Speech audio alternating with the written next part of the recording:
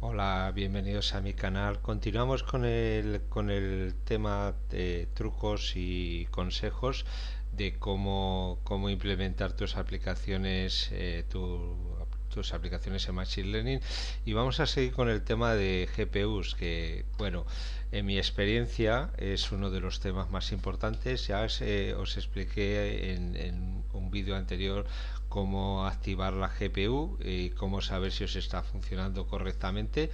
Eh, aquí tenéis eh, el, el, código para simplemente chequear como si la GPU la tenéis disponible en en vuestro vuestra eh, instalación de PyTorch es un código bastante simple. Con esto pues si, si bueno el código te, te devuelve que, que CUDA está disponible pues bueno está la, puedes usar la CPU la GPU y tienes eh, instalada la, la, correcta eh, versión tanto de CUDA Toolkit como de la versión de PyTorch que es compatible con esa versión de, de CUDA Toolkit ¿no? ¿Cómo puedes hacer para saber tu versión de CUDA Toolkit? NVIDIA SMI NVIDIA-SMI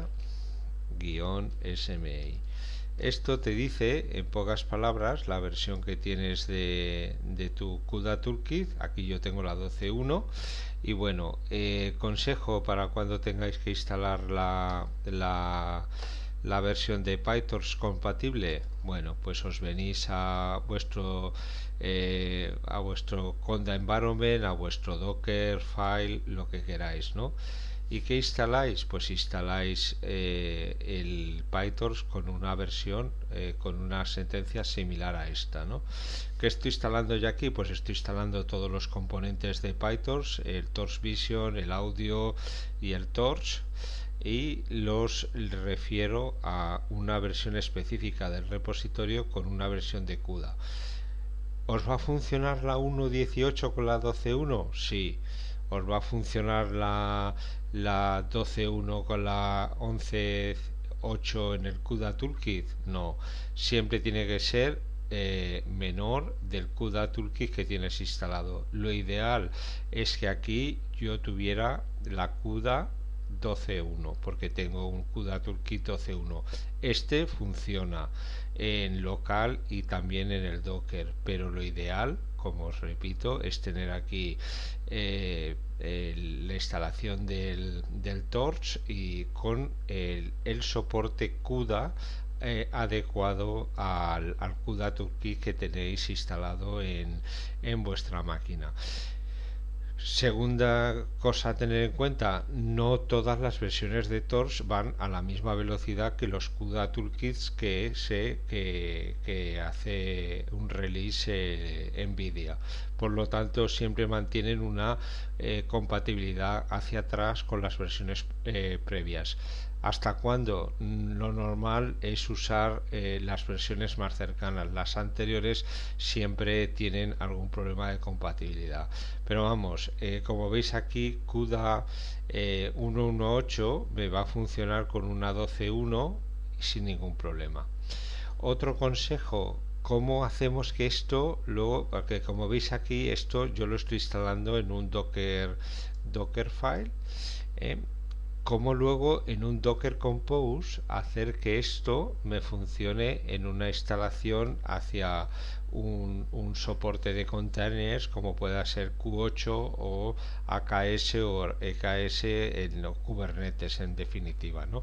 bueno pues lo que yo hago para que esto luego me funcione en el propio fichero en el compose supongo que sabéis lo que es el docker compose es un fichero que simplemente configura los containers que vais a desplegar en una pipeline en un, en un conjunto y a todos ellos que necesitan eh, eh, soporte de GPU pues sencillamente les reservas un recurso. Esto no significa que los uses sino que le estás diciendo que el recurso eh, va a necesitar una GPU y eso va a hacer que cuando el Docker eh, eh, cree el container instale a su vez el soporte para la GPU. Si no haces esto, el Docker no te va a funcionar con una GPU a no ser que eh, hagas una serie de operaciones adicionales que la verdad son bastante más complejas que hacer esta simple esta simple instalación ¿no? puedes arrancar también el docker eh, con un soporte eh, con las GPUs una vez que si tienes si tienes instalado el soporte de, de, de la GPU en la en, el container pues luego puedes también eh, arrancar el docker por línea de comando con una sentencia como esta espérate que, que te la pego aquí bien ¿Qué es lo que le estamos diciendo aquí al, Docker? Pues que tome las, todas las GPUs que estén disponibles. Eh, si tú no haces esto, si solo lanzas el Docker con, con el convencional run y el, puerto que vas a mapear y la aplicación que va a arrancar o el comando que va a ejecutar no, no usará ninguna GPU eh, tienes que especificar lo normal es que use todas las que encuentre y haciéndolo de esta manera pues eh, no, te, no te complicas eh, a mapear luego en la aplicación eh, adicionalmente pues los recursos que ha encontrado el docker con los con los nombres que luego los mapea. Con esto simplemente le dices mapeame todas las GPUs que tengas disponibles en el sistema al Docker y luego ya verá el Docker cómo las usa. Bueno, seguiré con estos temas de GPUs porque, bueno, yo en mi trabajo de, de ingeniero de bueno, Machine Learning Engineer o Data Scientist, pues me encuentro todos los días con problemas como estos y son problemas que he tenido que resolver para, para implementar eh, o desplegar aplicaciones en producción. Y bueno, pues eh, como sé que son problemas que todos os vais a encontrar porque son comunes a todos nosotros los que trabajamos en, en Machine Learning o en Data Science, pues bueno, espero que, que os sirva de, de ayuda. Eh, lo dicho en, en otros vídeos, si, si, necesitáis algo específicamente de cómo hacer algo, pues oye, pedírmelo en el, en el chat. Eh, intentaré buscar una solución o basado en la experiencia eh, o las experiencias que he tenido, os puedo aconsejar como yo lo he hecho en el pasado y, y ya está. Y, lo hacemos.